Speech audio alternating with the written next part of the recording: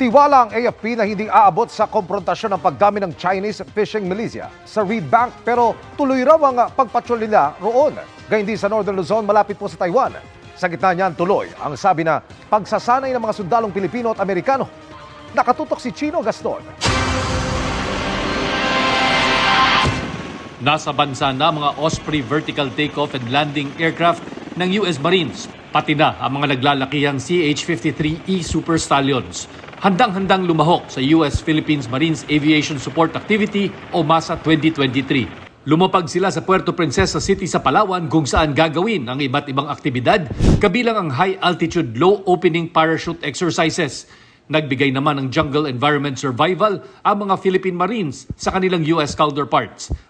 Bago nito, sumabak naman sa defensive counter-air exercises ang FA-50 jet aircraft ng Philippine Air Force kasabay ng F-22 fifth generation fighter jet ng mga Amerikano. Nandun po ma'am yung Force Recon, Force Recon group ng Marines together with their US Marine counterparts and some counterparts from the US Air Force.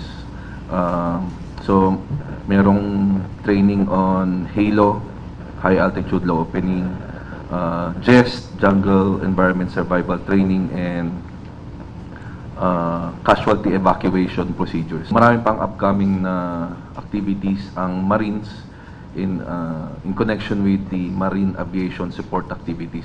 Sa gitna ng patuloy na pagdami ng Chinese fishing militia sa may Reed Bank, naniniwala ang AFP na hindi mauuwi sa komprontasyon ang sitwasyon. Pero nangako ang AFP na ipagtatanggol nila ang karapatan at soberenya ng Pilipinas kahit ano ang mangyari tungkulin na nasa puso raw ng sundalong Pilipino. We volunteered to this kind of work.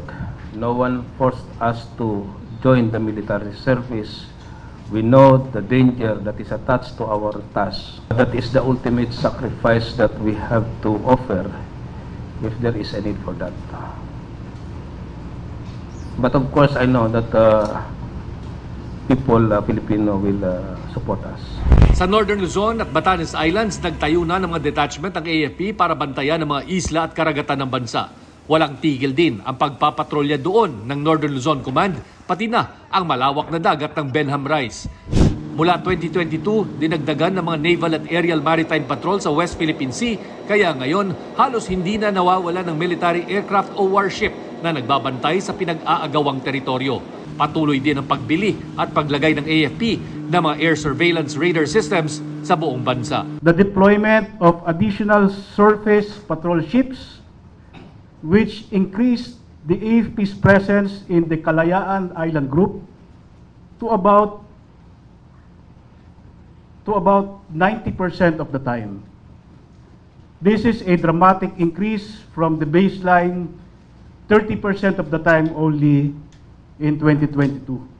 Para sa GMA Integrated News, Chino Gaston nakatutok, 24 oras. Good news mga kapuso! Maaari niyong mapanood ang 24 oras at iba pa naming mga newscast sa aming YouTube channel. I-click lang ang subscribe button na lalabas sa screen. Sa mga kapuso abroad, maaari niyo kaming masubaybayan sa GMA Pinoy TV at sa www.gmanews.tv.